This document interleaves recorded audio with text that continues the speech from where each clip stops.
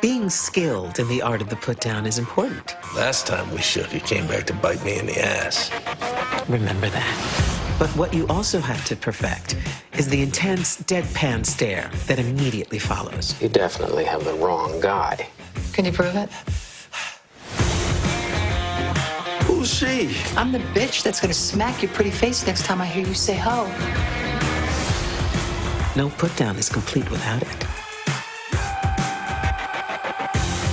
You're watching the SVU Fierce Women Marathon, hosted by me, Gina Torres, only on USA.